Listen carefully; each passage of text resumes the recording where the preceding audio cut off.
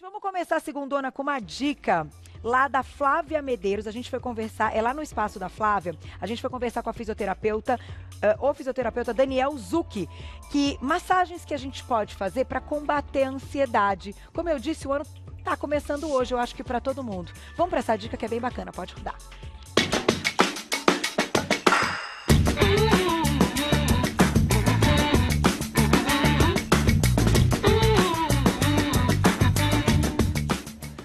Olá, eu sou Daniel Zuc e hoje estou aqui para falar sobre um tema muito recorrente nos dias atuais: estresse, cansaço, ansiedade, isso tudo acontece muito principalmente nas pessoas que estão nos grandes centros, na vida atual, na vida agitada, que a gente depende, né? A gente fica correndo atrás do tempo. Então, eu estou aqui para trazer alternativas hoje para a gente tratar esse tipo de problema que acontece e aí mostrar como a estética consegue trabalhar, consegue resolver essas coisas para vocês. Então, acompanhem tudo que eu vou mostrar para vocês.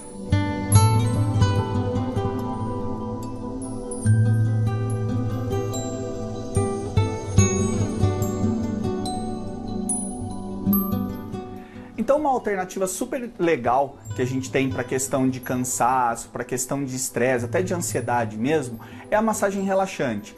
A massagem relaxante é uma alternativa que a gente usa muito para tratar esse tipo de problema. Então, a massagem relaxante ela pode ser feita no corpo todo e ela vai tirar todas essas tensões que a gente carrega do dia a dia.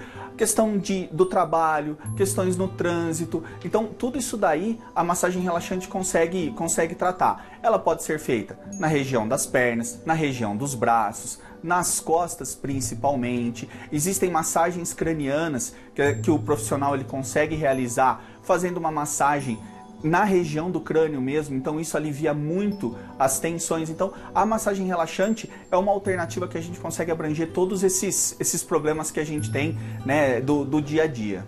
Outra alternativa legal também para tratar esse tipo de problema, né, seria a purificação iônica através dos pés. Então, o que, que é isso? É um aparelho onde o paciente ele coloca o pé lá dentro e aí esse aparelho associado ao pé do paciente que está dentro de uma bacia com água e uma, e uma bobina conectora, ele vai fazer uma purificação do corpo desse paciente. Ele vai purificar, ele vai é, é, conseguir fazer uma troca iônica e nessa troca iônica a gente vai conseguir trabalhar também essas questões de ansiedade, as questões do cansaço físico, vai conseguir ter uma diminuição na retenção de líquido. Então, a purificação iônica é uma alternativa interessante quando a gente fala principalmente nesse cansaço do dia a dia. Sem contar que a purificação iônica, né, como o próprio nome está dizendo, é um detox corporal que ele é feito através dos pés. Então, todas aquelas impurezas que vão causar uma dificuldade na realização de um metabolismo correto da célula,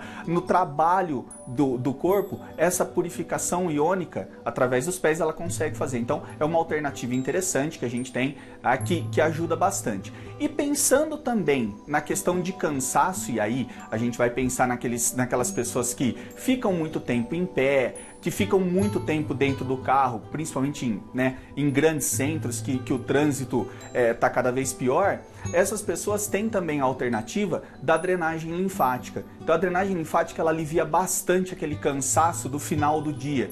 Né? Aquele cansaço que a gente fala que a perna tá pesada, a perna tá cansada, aquele, aquela, a gente tem aquela sensação na panturrilha mesmo ali, né? Então a drenagem linfática ela vem também como uma alternativa para a gente tratar esse, esse cansaço do, do dia a dia. Inclusive, uma alternativa para drenagem linfática, para você fazer em casa e tem ótimos resultados, é a técnica de estímulo de cervical. Essa técnica ela é realizada colocando a mão nessa posição e fazendo um estímulo leve nessa região supraclavicular, na região aqui do pescoço, por 20 minutos tem resultados muito bons e ela é uma técnica super interessante para a gente fazer aí na, na autodrenagem, para você poder realizar em casa quando tiver com esse problema de cansaço, as pernas inchadas. Então, a, o estímulo de cervical dá para ser feito em casa mesmo.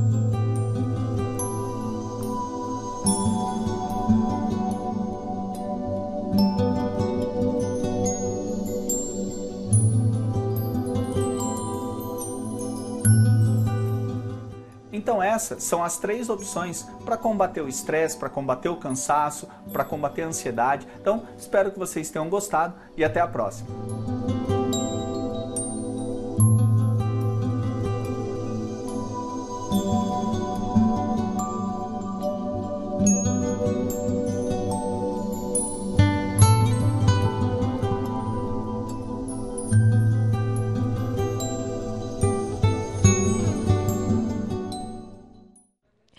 Tá aí, que delícia, né? Começar a segundona assim já, com essas dicas tão bacanas. E claro, o momento que você também tá ali, tranquilo, a gente pode fazer, né? Ah, ô coisa boa.